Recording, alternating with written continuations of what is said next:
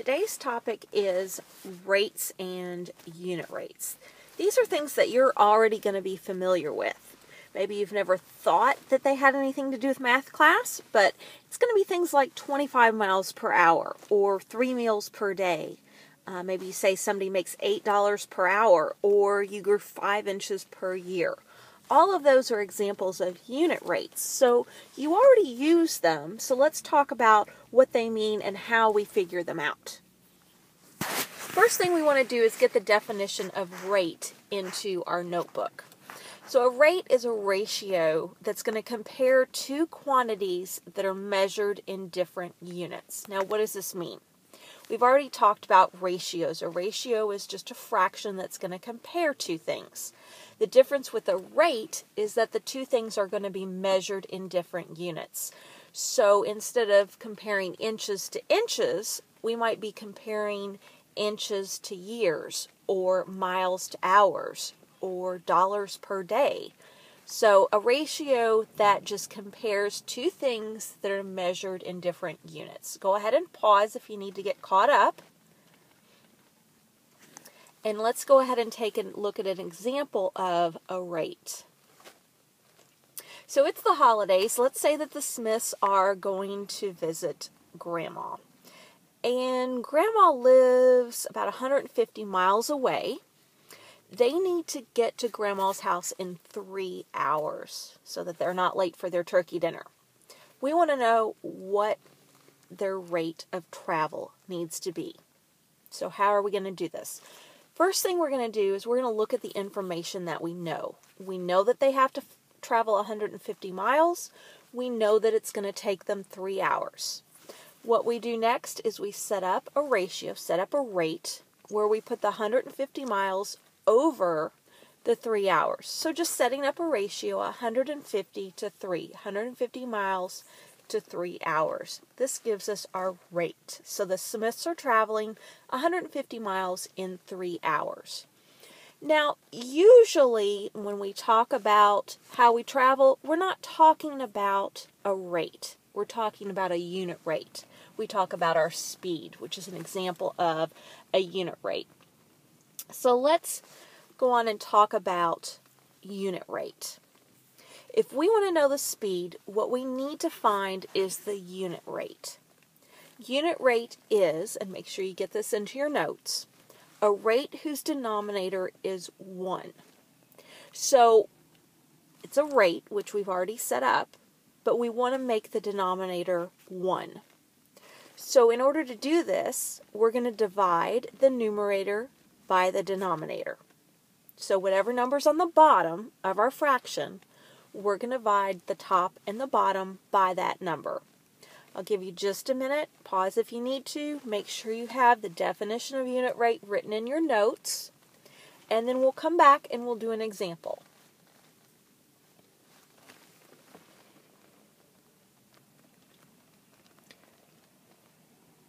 Okay, I'm going to go back and I'm going to look at grandma's house again. Okay? And let's say that instead of finding the rate, I want to find the unit rate. So I'm going to set up my problem 150 miles over three hours, set up the rate. Then I'm going to divide the top and the bottom by 3. 3 is my bottom number, so I want to divide by 3. When I do that, I get 50 miles on the top, 1 hour on the bottom, and that tells me that I need to go at a unit rate at a speed of 50 miles per hour. So I've just divided by the bottom number to come up with my unit rate, 50 miles per hour, to go to Grandma's house. And the magic word for today is Grandma. So make sure you make note of that so that you can show me you watch the video. Okay, let's go ahead and look at another example. And let's say that during exercise, my heart beats at a rate of 675 times in five minutes. How many times does my heart beat per minute? So I need to find the unit rate. I'm going to set up my problem. I'm going to take my 675 beats, put that over top of my five minutes.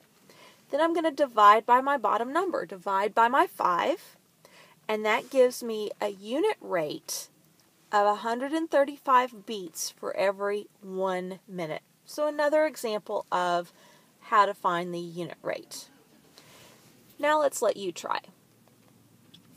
Before, though, just a hint, if you see the words per, so miles per hour, dollars per day, dollars per hour, students per class, students per teacher, you have a unit rate. So anytime you see that word per, that's a hint that you're talking about the unit rate.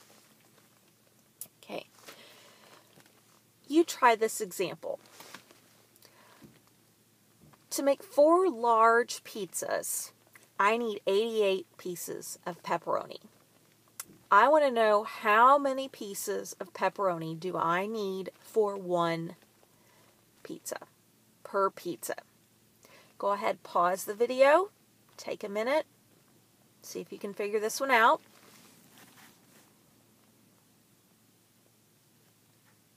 Okay, let's take a look at our answer. We've got 88 pepperonis and four pizzas. That's our beginning rate. What we're going to do next is we're going to divide top and bottom by 4. So top and bottom both by our bottom number 4. And that's going to give me 22 pepperonis for one pizza. So that's my unit rate, 22 pepperonis per pizza. Double check your work. And let's try one more example. Let's say I'm going to travel 280 miles to visit my cousin this Christmas, but I need to make it there in six hours. So I'm on a limited schedule, six hours to get there. What should my average speed be in miles per hour? So I'm looking for miles per hour. Take a minute to set up your ratio.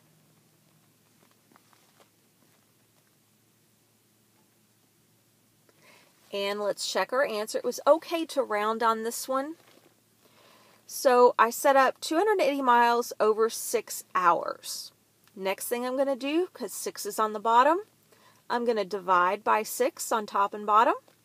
That gives me about 46.7 miles per one hour. So my average rate of speed would need to be about 47 miles per hour. Double check your work. And let's talk about how we're going to use this in the real world.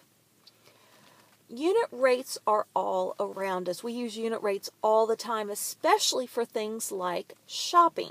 So we're going to look at a couple of examples of how we're going to use these for shopping. If you go in Kroger or Walmart or Meijer or any of those stores, you're probably going to see two prices listed on the shelf. One will be the big price, that's the one in the yellow here. I found this at Walmart.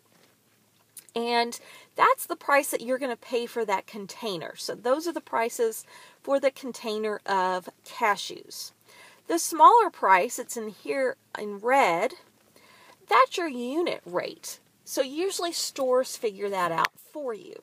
Okay, it'll tell you the price per ounce or the price per pound.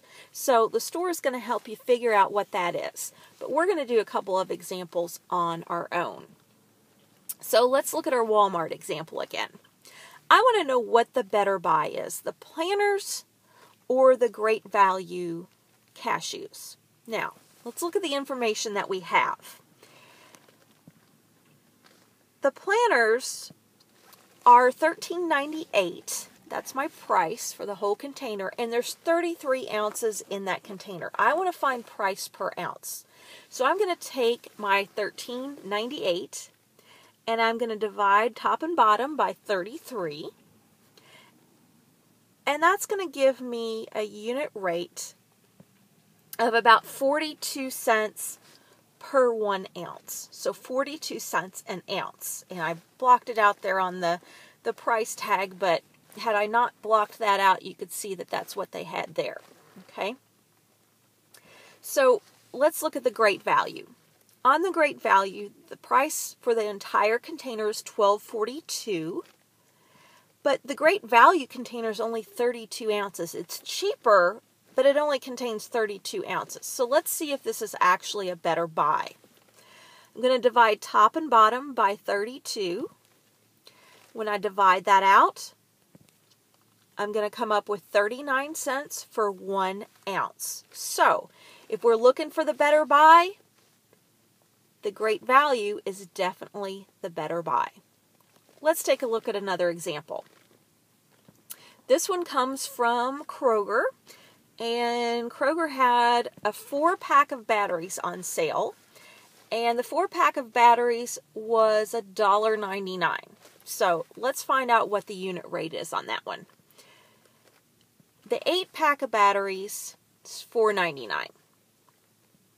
So to find my unit rate, I'm going to put my $1.99 over four batteries. I'm going to divide the top and the bottom by four, and that's going to give me 50 cents for one battery. To do the eight pack, I'm going to put my $4.99 over my eight batteries. I'll divide that out, divide top and bottom by eight, and that gives me about 62 cents per battery. So the better buy, definitely the four pack of batteries. Okay. You try this one. On Amazon, I found Powerade, a 12 pack for $12.99. It was a fruit punch flavor.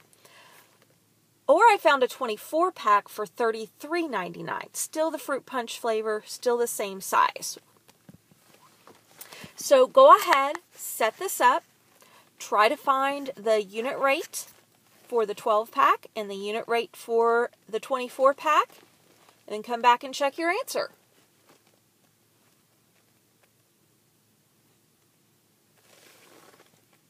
Okay, so let's check.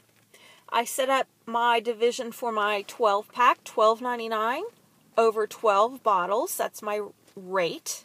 I'm going to find the unit rate by dividing top and bottom by 12.